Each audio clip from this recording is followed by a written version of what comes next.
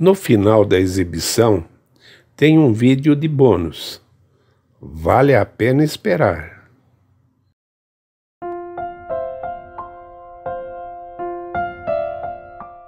Pierre Gilliard, o corajoso professor da família imperial russa. Em homenagem ao Dia dos Professores, vamos contar a vida de Pierre Gilliard, um professor que não apenas compartilhou seus conhecimentos, mas arriscou a vida por seus amados alunos. Gilliard foi um exemplo de coragem, doação e amor à profissão. Pierre Gilliard nasceu em 16 de maio de 1879 em Fies, na Suíça. Seu pai, Edmond André David Gilliard, era um proprietário de terras que fundou uma vinícola em Sion, que ainda hoje existe sob a marca de Maison Gilliard. Pierre Gilliard foi para a Rússia com muitos dos seus outros compatriotas em busca de uma vida melhor pois os russos gostavam dos professores suíços. Por exemplo, Catarina II convidou o suíço Frederic César Laharpe para ensinar seus netos. O rigor, a metodologia, a modéstia, a precisão e a paciência inerentes ao caráter suíço foram altamente valorizados pelos russos enquanto para os próprios suíços, a Rússia era um país de vastos territórios e oportunidades ilimitadas. Como resultado, cerca de 6 mil suíços viviam na Rússia no final do século XIX. Gilliard conseguiu um cargo de professor de francês na família dos príncipes Sergei Romanov, tio do czar Nicolau II. A duquesa e a imperatriz Alexandra Feodorovna eram amigas e, em uma ocasião, o professor foi apresentado à família imperial. Aparentemente, ele causou uma boa impressão, pois logo foi oferecido para ele dar aulas de francês às princesas Olga e Tatiana. As meninas tinham então 10 e 8 anos. Sua aluna favorita era Olga, Segundo ele, alegre como um cavalo selvagem, sincera e muito esperta. Tatiana era mais bonita que a irmã, mas ao mesmo tempo parecia um tanto distraída nas aulas. Maria, que posteriormente ingressou nas aulas, se destacou pela modéstia, gentileza e cordialidade. A mais nova Anastácia se distinguia pelo riso e era brincalhona e travessa. Apesar de sua preguiça natural, ela fez progressos significativos no aprendizado do francês. Tinha excelente pronúncia e representava pequenas cenas teatrais com muito talento. Foi especialmente difícil trabalhar com o príncipe Alexei. Ele não tinha disciplina e a saúde precária, e o medo constante dos pais de provocar outra lesão e subsequente ataque de doença. Fizeram ajustes no currículo cuidadosamente desenvolvido por Pierre Gilliard. Tal controle do ponto de vista suíço era prejudicial para a criança. Ele acreditava que Alexei Nikolaevich deveria aprender a monitorar sua própria segurança, que isso era vital para ele.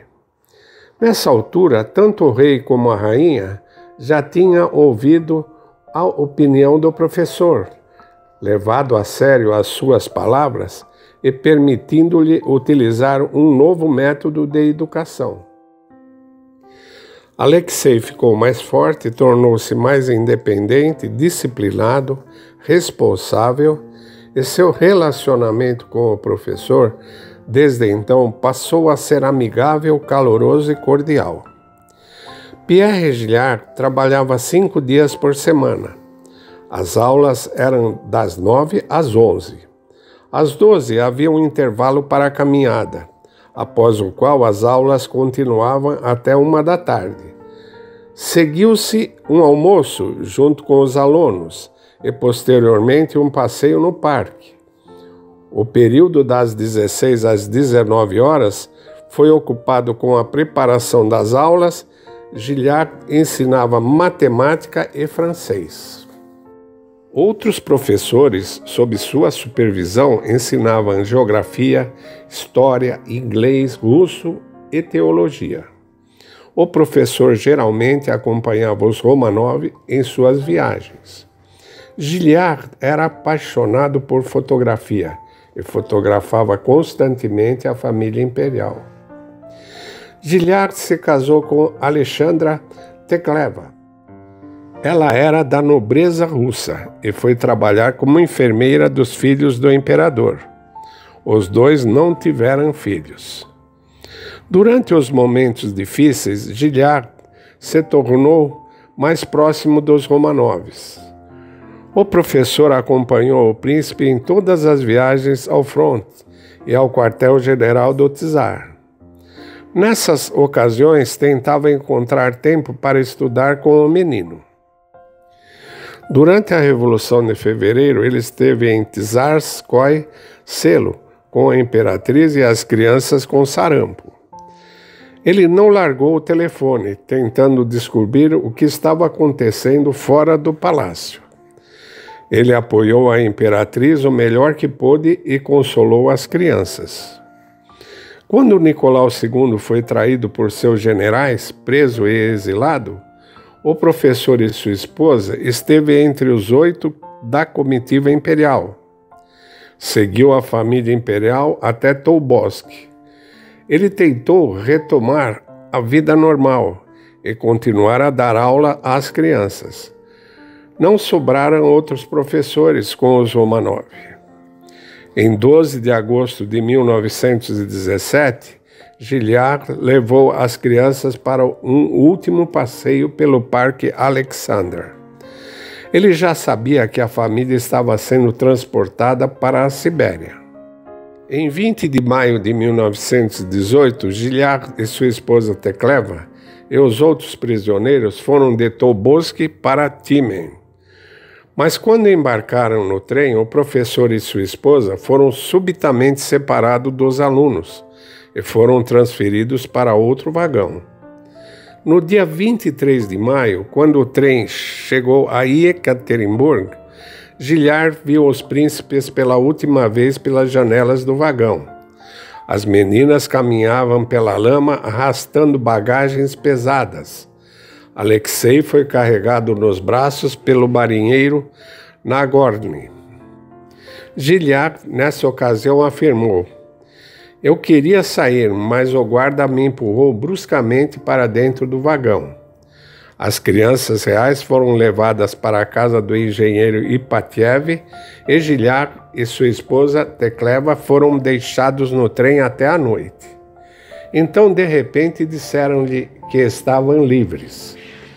Gilliard não tentou deixar a Rússia, mas contactou incansavelmente os consulados estrangeiros em tentativas vãs de salvar os prisioneiros. Ele entregou todos os seus arquivos à missão diplomática britânica. Vagueou pela casa de Ipatiev, que estava cercada. Ele enviou um pedido a Moscou para que lhe fosse permitido juntar-se aos Romanovs. O pedido não só foi rejeitado, mas eles receberam a ordem de deixar a cidade com urgência. Somente em 3 de junho de 1918, Gilhard e Tecleva, juntamente com uma multidão de refugiados, conseguiram deixar Ekaterimburgo. Em Tume, ele foi preso mas por algum milagre conseguiu provar que era cidadão suíço e foi libertado. Somente quando as tropas do corpo da Tchecoslováquia entraram em Tumen é que Gilliard saiu do esconderijo pela primeira vez e viu um folheto na parede da casa. A sentença de morte imposta ao ex-czar Nicolau Romanov foi executada na noite de 16 para 17 de julho, e a imperatriz e seus filhos foram evacuados e colocados em um local seguro. Pierre Gilliard partiu imediatamente, percebendo que precisava encontrar seus alunos. Ele chegou a Ekaterimburgo em um vagão de gado e imediatamente iniciou uma busca intensiva. Os tchecos estavam na cidade naquela época e o general Radola Gaida ocupava um escritório na casa de Ipatiev. Gilhar correu imediatamente para esta casa, desceu para a sala, que mais tarde ficou conhecida como sala de execução. A sensação ali era dolorosa, além de qualquer medida. Havia numerosos vestígios de balas e golpes de baioneta no chão e nas paredes. À primeira vista, ficou claro que um crime terrível foi cometido ali e que mais de uma pessoa foi morta. Mas quem? E quanto. O professor não tinha dúvidas sobre a morte do czar e da czarina, mas não podia acreditar que as crianças também estivessem mortas. Ele os procurou durante várias semanas, depois retornou a Tumen. Entrou ao serviço do general francês Maurice Janin e conheceu Nikolai Sokolov um investigador envolvido nas circunstâncias da morte da família imperial. Sokolov convenceu Gilhard de que toda a família imperial e seus associados foram brutalmente assassinados na casa de Ipatiev. Gilhard permaneceu na Rússia até 1920. Naquela época, Pierre já havia decidido voltar para a Suíça Sentia-se doente e cansado. Gilhard tentou convencer a sua esposa a ir com ele para a Suíça, mas ela não queria deixar a Rússia. No final, Tecleva deu seu consentimento, mas pediu a Gilhard que lhe prometesse que eles retornariam à Rússia quando houvesse uma oportunidade. Ele fez essa promessa a ela, mas a oportunidade nunca apareceu. Gilliard comprou um pequeno apartamento em Lausanne e trabalhou em uma universidade. Tecleva cuidava de casa. Em 1921, Pierre Gilliard publicou um livro de memórias sobre os anos passados na Rússia. Foi publicado pela editora parisiense Payot e logo se tornou um best-seller. Pierre Gilliard morreu de ataque cardíaco em 1962. Alexandra Tecleva morreu sete anos antes. Eles foram enterrados no cemitério Bois de Vauche, em Lausanne. Em 1993, o cemitério foi reconstruído e a sepultura foi perdida.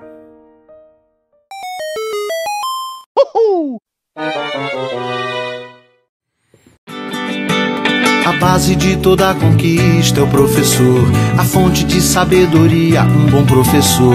Em cada descoberta, cada invenção, todo bom começo tem um bom professor. No trilho de uma ferrovia, um bom professor. No bisturi da cirurgia, um bom professor. No tijolo da olaria, no arranque do motor. Tudo que se cria tem um bom professor sonho que se realiza. Cada nova ideia. No que se aprende, o que se ensina. Uma lição de vida, uma lição de amor. Na nota de uma partitura. No projeto de arquitetura. Em toda teoria, tudo que se inicia. Todo bom começo tem um bom professor. Tem um bom professor saber mais sobre a Rússia Imperial? Inscreva-se em nosso canal e ative as notificações. Não se esqueça do like. Até o próximo vídeo.